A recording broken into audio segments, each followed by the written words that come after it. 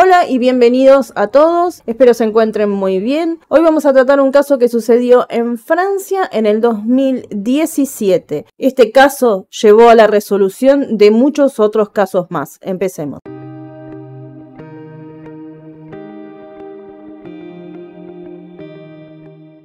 Vamos a hablar de Maelis de Araujo, de 9 años de edad. Su familia estaba compuesta por Jennifer Marrell, de profesión enfermera, y de Joaquín de Araujo, un ciudadano francés de origen portugués y de profesión bombero. Fruto de su relación nacieron Colin, de 11 años, y Maeli, de 8. Maeli, quien nació el 5 de noviembre del 2008. En el verano europeo, el 26 de agosto del 2017, la familia se encontraba feliz. Habían sido invitados al casamiento de una de las primas de la familia. Por eso concurrirían los cuatro. La boda se realizaría en la campiña de Pont Beauvoisin, en el sudoeste de Francia, cerca de los Alpes una localidad de 3.500 habitantes que estaba cercana a la frontera con Suiza e Italia, en un edificio de ayuntamiento local. Maelis para la boda se había puesto un vestido blanco con flores y unos zapatos haciendo juego, este dato va a ser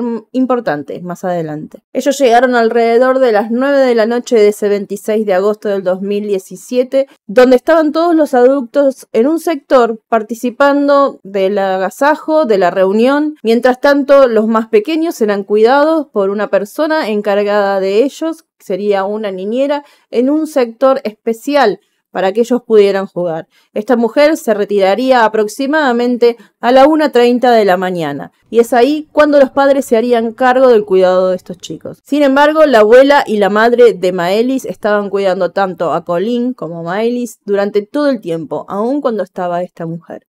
La abuela fue la última en ver a Maelis, la vio aproximadamente a las 2.45 de la mañana y se acuerda exactamente que era entre esa hora porque miró el reloj. Cuando regresan a verla 15 minutos después, Maeli ya no estaba. Ahí comienzan a buscarla por toda la zona, por todos los alrededores, y le piden a la persona que está encargada de los altavoces del salón si los podía ayudar dando la información de que estaban buscando a Maelis. Lo que se sabe es entonces que entre las 2.45 de la madrugada del día 27 de agosto y las 3 de la mañana, Maelis desaparece. Había un lago bastante cerca y todos los invitados comienzan a buscarla, pero lamentablemente no la encuentran y es así como a las 4 de la mañana llaman a la policía, la que se aproxima al lugar de inmediato y comienza a hacer interrogatorio a todas las personas que se encontraban en la boda las cuales no se iban a poder retirar. Rastrean metro a metro el lugar, la zona, ayudado también por voluntarios. Lamentablemente Maelis ese día no aparece.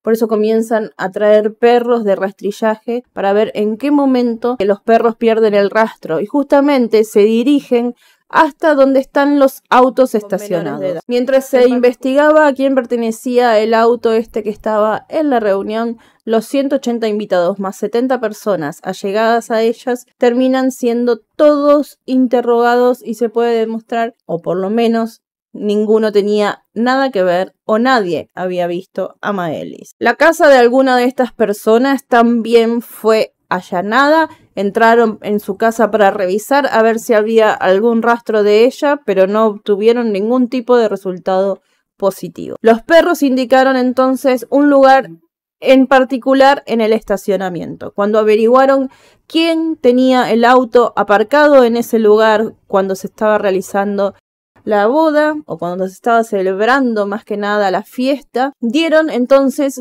con una persona que tenía un Audi gris A3 y que se trataba del ex soldado Nordan Lelandais, de 34 años, un entrenador de perros y caballos. Pero ¿quién era Lelandais? Era una persona que llegó a la boda a último momento. No estaba en la lista de invitados. Sin embargo, al ser conocido del novio, se acercó a último momento prácticamente invitándose o forzando de alguna manera por respeto al novio a invitarlo. Pero ¿quién era él? Un ex soldado que nació el 18 de febrero de 1983, que tenía un hermano llamado Sven, de origen escandinavo, en el año 2002 entró en la Armada donde se convirtió en adiestrador de perros. Pero su mal comportamiento hizo que fuera dado de baja. Para el año 2017, Nordan tenía 34 años, como mencioné, un ex soldado soltero sin ocupación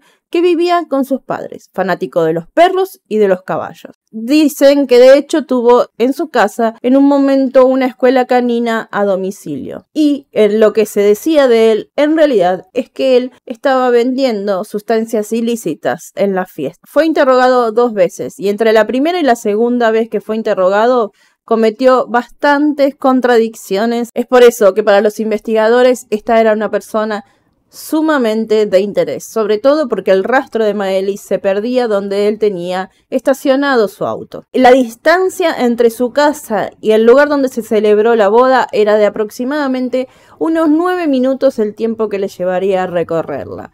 Bastante rápido, como para ir y volver. Se interrogó a mucha gente que lo conocía en la zona donde él estaba viviendo junto a sus padres, quienes dijeron que en realidad él era un vago, una persona no muy despierta y que en realidad no tenía muy buen concepto de su persona. En su primera declaración, que fue el 31 de agosto del 2017, él afirmó que llegó al casamiento, aceptó que vendía cocaína en ese lugar a varios de los invitados y que se ausentó de la fiesta durante un rato, que se había manchado los pantalones con vino, por eso iba a cambiárselos y que luego regresó. También se dijo más adelante que este hombre habría tenido una discusión con los padres de Maelis porque lo vieron en un momento hablando con ella cuando él le estaba mostrando las imágenes de sus perros en el celular que él tenía. Esto es algo que se dijo mucho más adelante, sin embargo no es algo que se pueda corroborar porque si no, de hecho, el primero de los sospechados para la familia hubiera sido él. Por lo tanto, entonces, este hombre, el 3 de septiembre del 2017, es detenido. Y se contó qué es lo que supuestamente hizo este hombre el día 27 de agosto, el día en que desapareció Maelis. Se supo que había lavado su Audi A3 con un poderoso detergente corrosivo y aspirado meticulosamente la cabina del auto. Así, se lo observó mediante unas cámaras de vigilancia que estaban en la zona donde él realizó el lavado del auto, que fue en una estación de servicio. Y esto lo hizo aproximadamente a las 5 y 23 de la tarde del día 27, tarde en que se seguía buscando a Maelis. Cuando los perros olfatearon el lugar donde estaban estacionados los autos, no tenía el auto estacionado ahí, ya se había ido. Cuando este hombre presentó el auto a las autoridades, y pudieron acercar a los perros, se dieron cuenta de que los perros olfateaban el olor de Maelis en el lugar. Es decir, en la parte de atrás del auto los perros sentían el olor de ella. ¿Cuál fue la respuesta que él dio? Porque evidentemente tenía respuesta para absolutamente todo. Dijo que en realidad era porque sí, ahora recordó que Maelis y otros chicos que estaban jugando con ella se acercaron a ver los perros que él tenía detrás del auto, pero que subieron un ratito y luego se fueron. También pudieron incorporar a la causa otras pruebas, como que él se ausentó de la fiesta entre las 2.45 y las 3 y 24 de la mañana. Casualmente el horario en que desapareció Maelis. Además tuvieron acceso a un video donde se lo ve a él circular con una aparente persona a su lado con ropa blanca de tamaño pequeño, que la madre reconoció como que era Maelis, y su vestido blanco con flores, ese que les había mencionado al inicio del video. Además, este auto estaba circulando justamente en el horario en que ella desapareció o mejor dicho, en el horario en que se la llevaron. Frente a estas acusaciones, el individuo se defendió diciendo que ese auto no le pertenecía. Sin embargo, unos stickers o unas calcomanías que tenía su auto eran idénticas al auto que estaba en esta filmación. Para los investigadores, curiosamente, cuando el auto retoma la fiesta, la figura blanca ya no estaba a su lado. Por eso calculaban que para ese momento, lamentablemente, Maelis ya no estaba con vida y él se había deshecho de su cuerpo. Otra de las pruebas en su contra es que su celular estuvo offline 39 minutos, justamente los 39 minutos donde él salió desde la fiesta. Luego lo pasó a modo avión y al volver al casamiento lo reactivó. Y todo esto en ese mismo horario en que estaba desaparecida Maelis. Sí, así como lo piensan ustedes, esta era la persona que se la había llevado. La excusa de él para salir de la fiesta fue que él tenía manchadas las bermudas, que por eso tenía que ir a cambiarse porque se las había manchado con vino. Cuando le preguntaron dónde estaban esas bermudas, él dijo no saber. Cuando él regresa a la fiesta, estaban todos buscando a Maelis. Sin embargo, él no ayudó en esta búsqueda, ni siquiera se acercó. Y otra de las cosas que hizo es como para marcar su presencia en el lugar, era decirle a una persona que lo acompañara al baño porque él estaba muy borracho y muy descompuesto. Así marcaría que él estaba al menos en el lugar o al menos esa fue su idea. Por orden del juez, el auto unos días después es desguazado, es decir, lo desarman levantando las alfombras, se encuentran rastros de sangre que al analizarla se dan cuenta que le pertenece a Maelis. No había dudas para las autoridades que esta persona era la responsable. Cuando es revisado físicamente encuentran arañazos y muchos raspones en su cuerpo y la respuesta de él como tenía para todo, fue que estaba juntando frambuesas en un lugar y que las plantas le produjeron ese tipo de arañazos. Sin embargo, las marcas eran muy frescas. Analizaron su computadora para ver cuál era el contenido que buscaba en internet y días o horas previas a la fiesta se lo vio buscando todo lo que tenía que ver con la es así como el 30 de noviembre formalmente es acusado por secuestro seguido de muerte. Ya había pasado dos meses y el cuerpo de Maelis seguía sin aparecer. No fue hasta febrero del 2018, cinco meses después, dice dónde se había deshecho de su cuerpo. Sin embargo, dijo que primero tuvo que dejarlo cerca de su casa volver a la fiesta y al día siguiente deshacerse del cuerpo, es decir, lo dejó en ese lugar antes de lavar su auto. Las autoridades fueron llevadas hasta esta zona montañosa que este individuo señaló y fue así como el 14 de febrero son encontrados los restos de Maeli en esta zona. Estaban cerca de un bosque de hayas y de una cascada. El tiempo que él esperó para decir dónde estaba seguramente era para que el cuerpo entrara en estado de descomposición y así poder comprobar menos quizás qué cosas le hizo este individuo, aunque ya claramente todos podemos imaginarlas. Para ese momento lo único que habían eran restos óseos. Creen los investigadores que este hombre nunca habría confesado su autoría si no hubieran encontrado las manchas de ADN en el auto. Él seguía insistiendo que había sido un accidente y que le había golpeado la cara cuando quería calmarla. Pero calmarla no dijo por qué.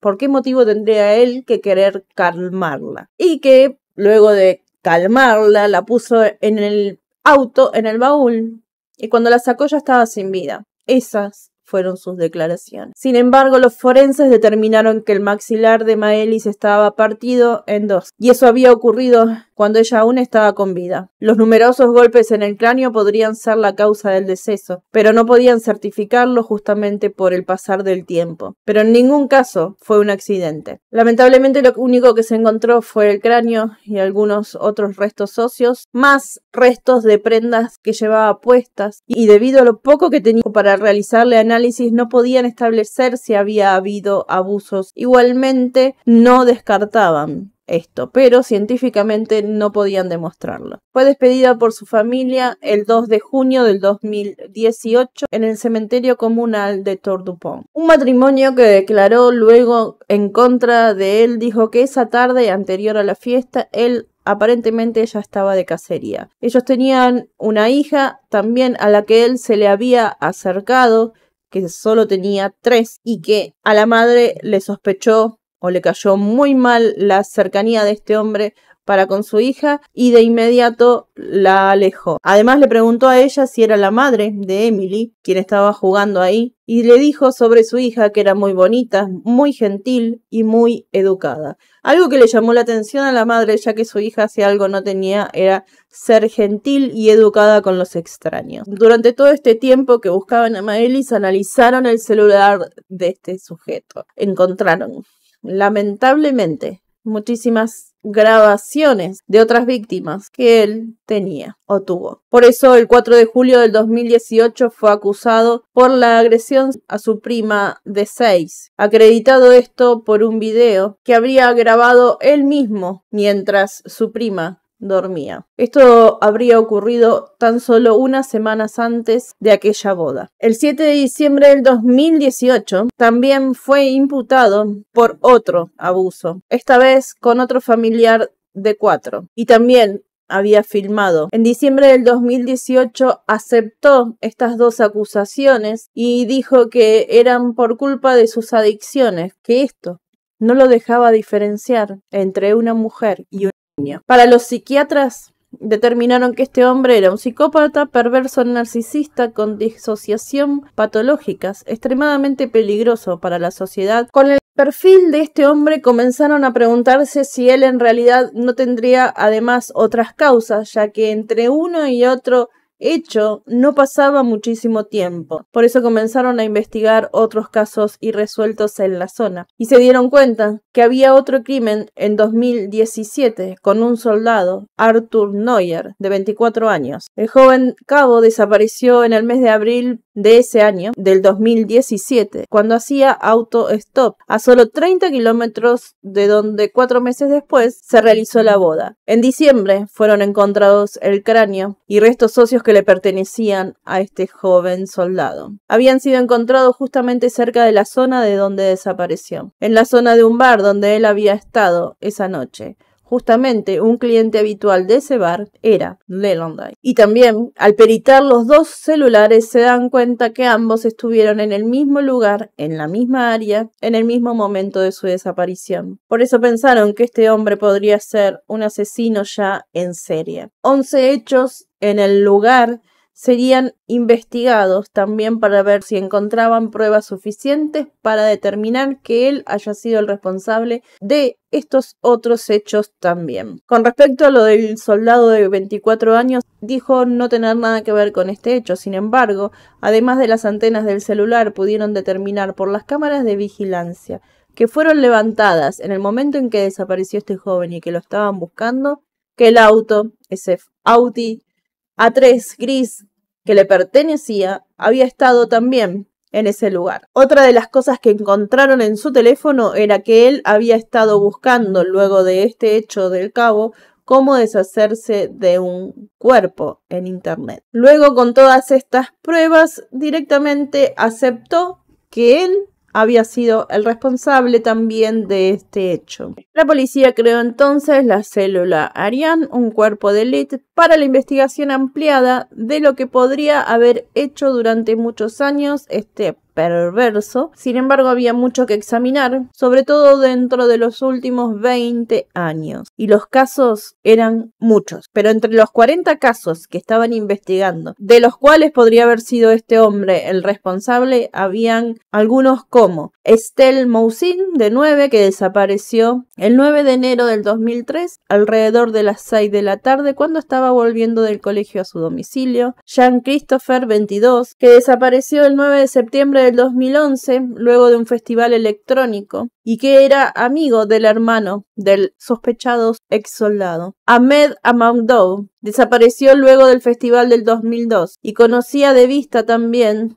a Lelandai. Y entre otros una familia británica que estaba haciendo turismo y un ciclista francés que fueron asesinados el 5 de septiembre del 2012 cerca de las 4 de la tarde, en una ruta forestal en los Alpes, en la zona sur de un lago. El hombre de 50, su mujer de 47, su suegra, una mujer de 74, de origen sueco, quienes fueron acribillados de 25 balazos. El ciclista, de 45, al querer ayudarlos, quedó tirado en la ruta. Pero esta familia llevaba dos hijas, de 4 y 7, y quedaron escondidas entre las piernas de la madre y por eso se salvaron. Y se cree que ellas eran en realidad lo que este hombre estaba buscando y todo el resto era eliminado para acceder a ellas. Sin embargo, no se puede probar hasta ahora y ese es uno de los casos que también están investigando para ver si él tiene algo que ver con eso. También está Thomas de 18, que fue encontrado sin vida al costado de una discoteca justamente a la que asistía en 2015, Lelandais. También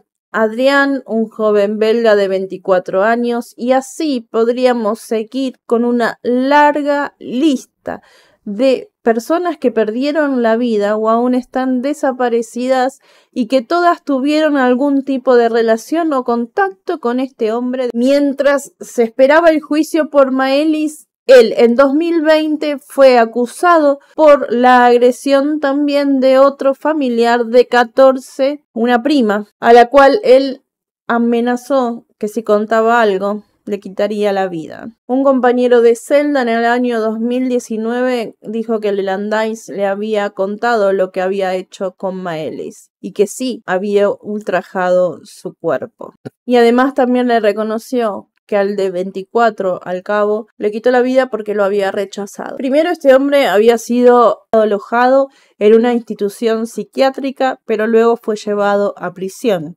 además de considerarlo sumamente peligroso para la sociedad. También salió a hablar una mujer que había sido novia, expareja de este individuo, al cual había denunciado en muchísimas oportunidades por violencia de género y por amenazas de muerte, y que dijo que ella se siente culpable, aunque en realidad si hizo la denuncia no lo era, pero la policía no hizo nada y que si lo hubieran detenido en ese momento quizás muchas personas hoy estarían con vida. Podríamos seguir así una larga lista de personas que podrían hablar sobre este individuo. Las únicas personas que lo visitaban aún eran su padre y su hermano. En referencia a las demás personas, todas tenían algo para decir de él. El juicio por Maeli se realizó en este año, en el 2022. Sin embargo, por el soldado de 24 años, el cabo Arthur Neuer, fue en el 2021 y fue condenado a 20 años de prisión y sumado el de Maelis podría tener una cadena perpetua. Entonces, el 31 de enero del 2022 comenzó el juicio por Maelis y entonces el 17 de febrero del 2022 Leland Dice fue condenado a cadena perpetua también por el secuestro y asesinato de Maelis de Araujo. Sin embargo, se lo sigue investigando por otros casos, como les dije, de familiares por los cuales tiene muchísimas otras pruebas. Creo que no le va a alcanzar la vida para pagar todas estas causas, pero al menos que todos reciban justicia y que muchos de sus familiares sepan qué les sucedió a sus seres queridos. Y Maelis tuvo que perder su vida para que pudieran darse cuenta de que este individuo estaba haciendo estragos en la vida de las personas. Otro hecho lamentable del cual se desprenden muchísimos otros más. Y por hoy terminamos con este caso. Yo me voy a despedir de todos ustedes como siempre, deseándoles mucha salud, diciéndoles que se cuiden mucho, que cuiden mucho a los suyos, que los disfruten, que pasen lindos momentos, que recuerden vivir la vida con mucha alegría y que los tiempos difíciles suelen pasar. Nosotros nos vemos muy pronto. Cuídense muchísimo. Gracias a todos los miembros del canal, los de la comunidad y nos vemos pronto. Espero que así sea. Chao.